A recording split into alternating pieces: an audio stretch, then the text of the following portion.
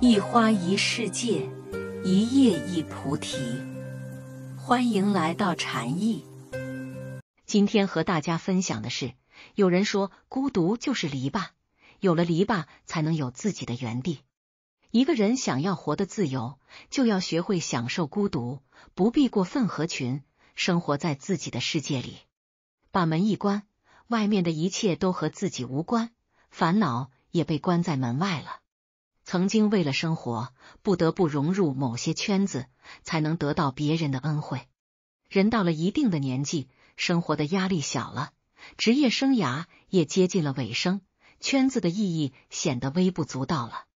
走亲访友是传统的习俗，也是生活中最常见的圈子。我们很多人在年轻的时候，为了自己的家庭和生活，就需要每天辛辛苦苦努力上班挣钱。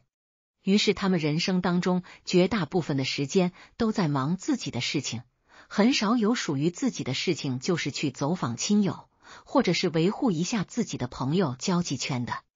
虽然我们很多人当时也不想这样做，但就是因为这样的事情，从而让我们很多人的心中就此会落下很多的遗憾和埋怨。因此，我们很多人在老了或者是退休之后，他们就准备在以后的时间里面。每天没事就去亲朋好友或者是古人之交那里去串串门，联络一下彼此曾经的感情。或者我们老人的出发点是好的，但是我想告诉大家的，就是退休之后经常去串门，有时候非但不会是好事，反倒还会给自己引来更多的烦恼。不是家里请不起一顿饭，而是家庭不需要外人干扰。家是一个。相对私密的空间，来来往往的人多了，就变成了公共场所。我身边这位六十岁大爷的亲身经历，就足以说明一切问题。六十八岁周大爷的自述：今年六十八岁的我已经退休有八年多的时间了。我年轻的时候是搞石油化工勘测的，因为我工作特殊性质的原因，因此我常年都需要在野外工作，可以说我常年都在外面。甚至于有的时候，就连春节我都是在工作岗位上度过的。而自从我干上了这份工作之后，我从此真的就和以前那些亲戚或者朋友等人失去了一切联系。很多人还以为我失踪了，其实主要是我工作太忙的原因。为此，家里的亲戚朋友等人没少埋怨我，我自己当时也觉得非常的不好意思。于是，我在退休之后的第一件事情。并不是去游山玩水，也不是去钓鱼跳舞的，而是隔三差五的就去拜访我以前的那些亲戚朋友的人。我当初最初的想法也非常的简单，我就觉得自己现在退休没事干了，我就想通过这种方式来重新见识起自己和亲朋好友等人之间曾经的那份感情和联系往来。我自认为自己当初的想法也并未有什么不合适和错误的地方，可当我真正去做这几件事情几年之后，我就再也没有了当初的这种冲动和想法，因为我感觉退休之后经常去亲朋好友家串门的同时，就是也会给自己带来很多的无尽的烦恼和痛苦。来一串门多了，会被对方认为你在有意炫耀自己。我当初之所以想在退休之后去亲朋好友家串门，就是抱着联络彼此之间曾经的友谊和感情去的，这是我的真实想法和目的，但却被对方给误会了。我有个好哥们，从小和我一块长大，后来他去了外地，而我又常年忙于工作不在家，因此我们就是彻底的断了联系。但我退休后得知他现在住的地方离我并不远之后，我就在第一时间登门拜访老朋友，相见自然就是非常的高兴。聊天中，当他得知我现在有七千块的退休金时，而且两个子女现在也有非常不错的工作以后，他对我就是一脸的羡慕。我当时也没往心里去，可在后来，我就发现他对我的态度有点冷淡了。我当时还不知道是怎么回事。那天我刚从他家出来，准备回家，就听见他对老伴说：“就算你现在家境好，你也没必要天天来我家炫耀吧。”我知道自己现在过得不不如你。从那以后，我再也不去他家串门了。二串门多了，礼尚往来随之增多，这是一笔不小的费用。我原来长时间在外地上班，因此我就跟很多以前的一些亲朋好友等人，基本上就是断绝了一切联系。于是退休之后的我，就是靠着多方打听、努力寻找等众多方式，终于和他们又重新取得了联系。既然和他们取得了联系，我自然就是在闲来无事的时候，经常去他们这些人的家里去串门。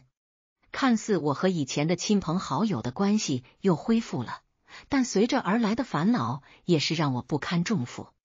今天这个朋友买新车了，在酒店摆下宴席，邀请我去吃饭。明天那个朋友孙子考学，在酒店摆桌让我参加。甚至于就连有些只见过一面的人，有事也打电话让我去。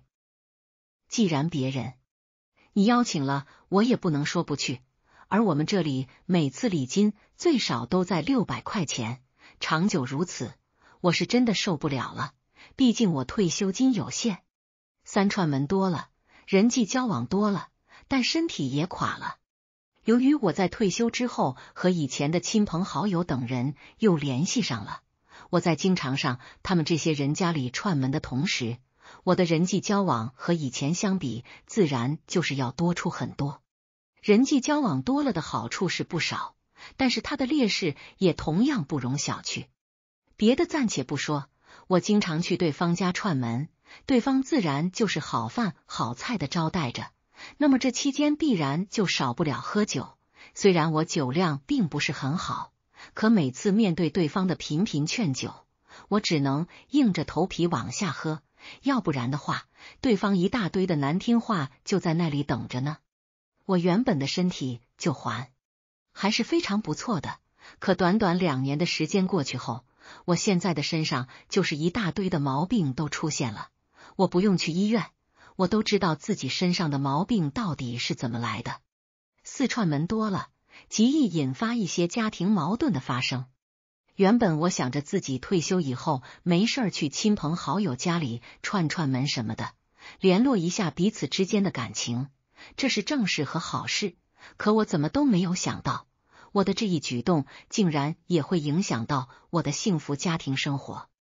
我有些亲朋好友等人，他们住的地方就是非常的远，于是我就需要坐客车去。有时候客车在路上难免会发生堵车什么的，这样我就不能按照原定的计划到家。